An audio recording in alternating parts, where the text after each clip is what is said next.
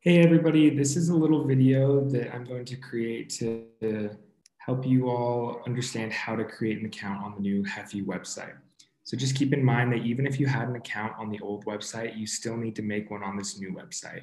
And if you are a deferred builder, please use the same email address when you create this new account so that our system will recognize you. So to start, just go to hefi.org and then go over to login. From here, we can go to create an account. And then we are going to enter email address in here.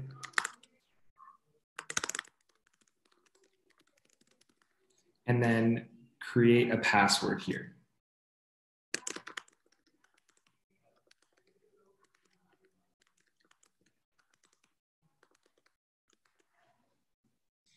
and make sure that your password follows all of this criteria here.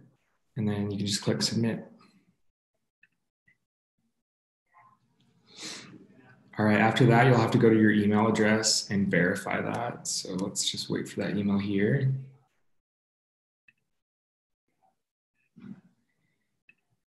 And then click on that email link and your account will be ready to go. And then you can go to log in and log into your account.